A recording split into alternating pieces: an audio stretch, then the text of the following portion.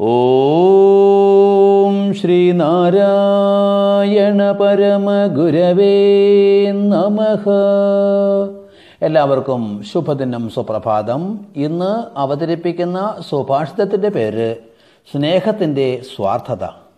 സൂക്ഷ്മമായി നോക്കുമ്പോൾ നിങ്ങളുടെ കുടുംബസ്നേഹം മറ്റു കുടുംബങ്ങളോടുള്ള ശത്രുതയാണ്.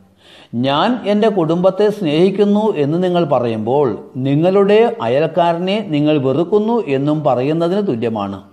ഈ വിദ്വേഷത്തിൽ നിങ്ങൾ എല്ലാവരും ഒരുമയുള്ളവരാണ്. നിങ്ങളുടെ എല്ലാ ബന്ധങ്ങളും വിഷമയമാണ്.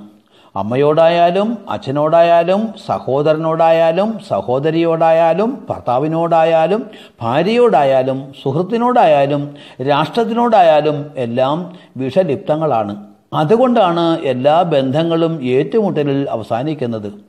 ദേശത്തിനോടുള്ള സ്നേഹം യുദ്ധത്തിൽ അവസാനിക്കുന്നു.